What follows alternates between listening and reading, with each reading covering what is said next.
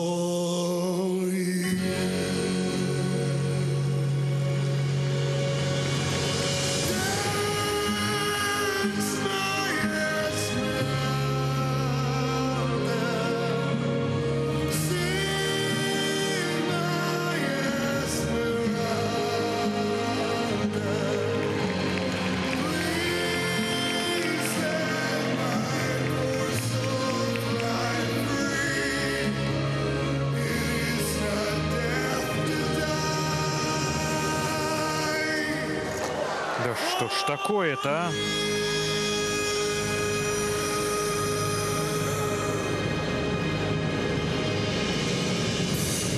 Но ведь там выброс должен быть. Без элемента остаются Ксения Столбова и Федор Климов. Вот вам и утро, вот вам и последними стоят спортивные пары в программе этого чемпионата Европы. Первый выброс не получился. Приземление у Ксиши оказалось смазанным, а второго выброса не было в принципе. Эффектнейший выброс, расстроенный Нина Мозер, Влад Жавневский. Ой-ой-ой, много потеряли по сравнению с тем, что могли бы набрать Ксения Столбова и Федор Климов, когда в принципе пропадает элемент, плюс ко всему еще ты получаешь балл штрафа за падение. Это всегда очень неприятно. На ровном месте споткнулся Федор, споткнулся партнер. Катались хорошо. Не идеально, не так уверенно, как они могут, но все-таки очень хорошо.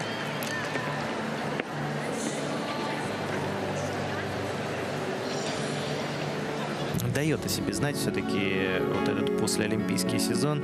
Столбов Климов одни из немногих из тех, кто стоял на пьедестале почета на Олимпиаде в Сочи, проводят полноценный сезон и проводят его очень сильно.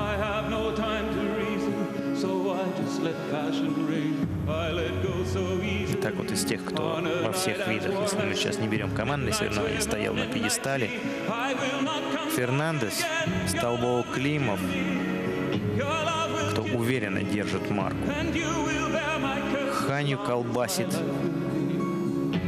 Многие и вовсе не выходят на лед. Кто-то завершил карьеру, как will. Ну да, фактически только Федор с Ксенией и Хавьер Фернандес остаются.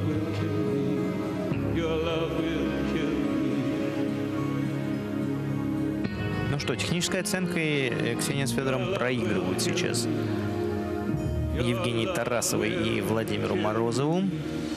Оценкой за компоненты, безусловно, они вчерашних юниоров обойдут и, естественно, останутся выше, причем даже увеличат свое преимущество, потому что компоненты у Столбова и значительно более высокие, пока во всяком случае, чем у Евгении с Владимиром. Они между собой-то и не соревновались. Вот видите, ну на пустом месте, на ровном.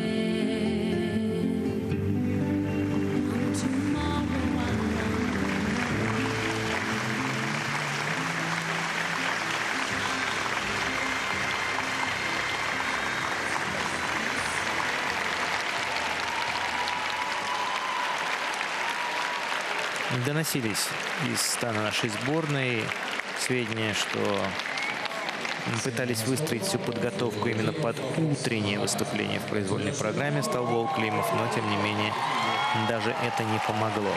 Под 130 баллов они получают от арбитров, переваливают за 200 по сумме короткой и произвольной, но понятно, что никакой радости сейчас нет.